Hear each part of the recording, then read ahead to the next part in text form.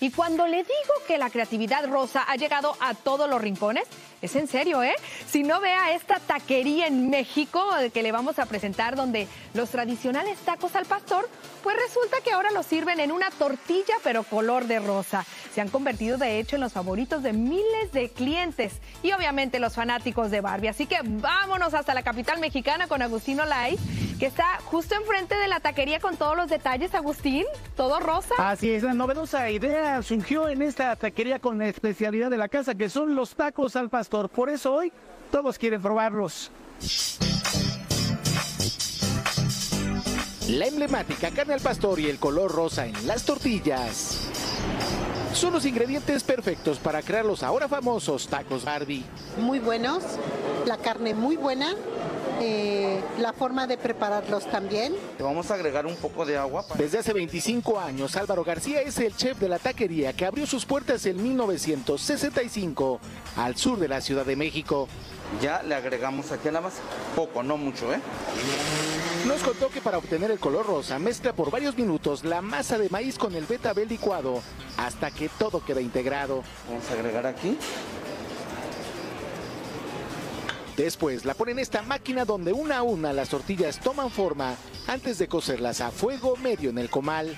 Levantamos la tortilla y ya ellos preparan los tacos al pastor.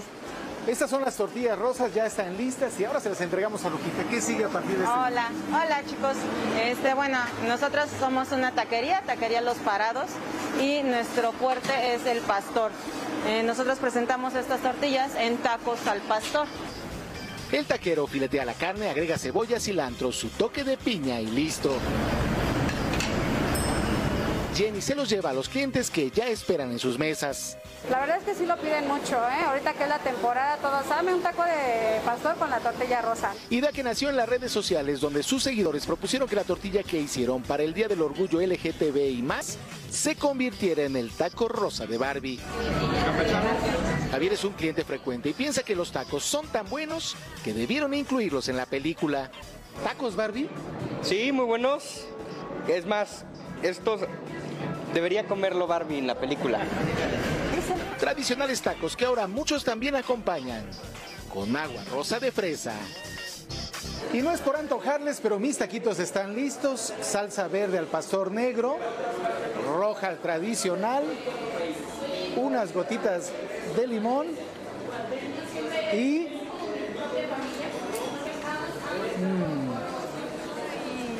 deliciosos. Uy, uy, uy, hasta se me hizo agua la boca.